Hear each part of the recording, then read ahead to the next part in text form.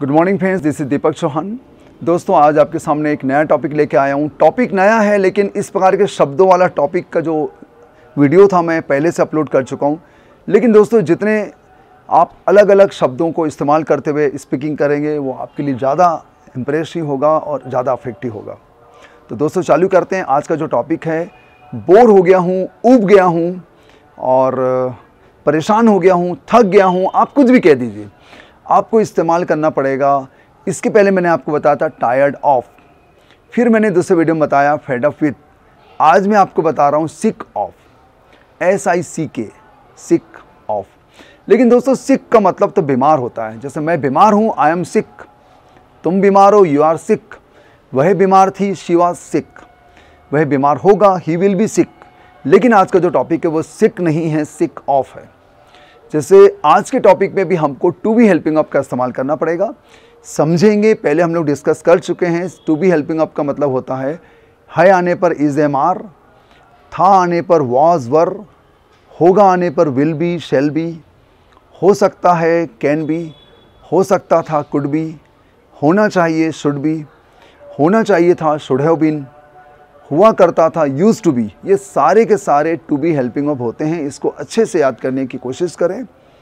और मैंने आपको बहुत पहले बताया था एक वीडियो में कि सारे सेंटेंसेस इंग्लिश के सारे सेंटेंसेस दो सिद्धांतों पर आधारित होते हैं, एक तो टू बी हेल्पिंग ऑफ़ और एक होता है टेंसेस डेट्स ऑल दोस्तों तो इसका वीडियो आप देख लेंगे। दोस्तों चालू करते हैं। वह किताबों से बोर हो गई है। शी सिक ऑफ़ बुक्स आप पढ़ाने से बोर हो गए हैं। You are sick of teaching दोस्तों, क्रिया आ रही है, वर्ब में आईएनजी लगेगा। हम लोग पहले डिस्कस कर चुके हैं जेरन का इस्तेमाल करना पड़ेगा। वर्ब में आईएनजी लगने पर जो नाउन बन जाता है, उसको जेरन कहते हैं। सारे वर्ब में आईएनजी जेरन नहीं होते हैं। अगर वो नाउन का काम करेगा तो ही जेरन होगा। किसी दिन में आपको वर्ब में आईएनजी जेरन कब होता है और कब नहीं होता, ये हम लोग डिस्कस करेंगे किसी और वीडियो में। आगे बढ़ते हैं दोस्तों।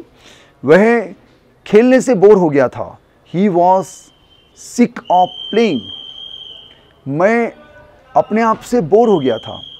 I was sick of myself वह खाना पकाने से बोर हो गई होगी। She will be sick of cooking food वह फ़िल्मों से बोर हो सकता है। He can be sick of film तुम्हें फ़िल्म देखने से बोर नहीं होना चाहिए। You should not be sick of watching film हमें किताबों से बोर नहीं होना चाहिए था। We should not have been sick of books हमें किताब पढ़ने से बोर नहीं होना चाहिए था। We should not have been sick of reading a book वह हर माहौल से बोर हो जाया करती थी। She use to be sick of every atmosphere तो दोस्तों, ये सारे सेंटेंसेस मैंने आपको बताए। टू बी हेल्पिंग ऑफ़ से बन रहे हैं। पुराना वाला जो टॉपिक था, बिल्कुल ऐसा ही है, केवल वर्ड बदल गया है। दैट्स ऑल दोस्तों, धन्यवाद मेरे वीडियो को अंत तक देखने के लिए। अगर ये वीडियो आपको अच्छा लगा तो प्लीज़ इसे लाइक करें। अधिक से अधिक लोगों को शेयर करें और चैनल को अभी तक सब्सक्राइब ना किया तो सब्सक्राइब कर दीजिए और बेल आइकन को भी दबा दीजिए जिससे आपको हर नए वीडियो का नोटिफिकेशन मिलता रहेगा। धन्यवाद। बहुत जल्द मिलेंगे इसी प्रकार की नई कोशिश के साथ, नए प्रयोग के साथ।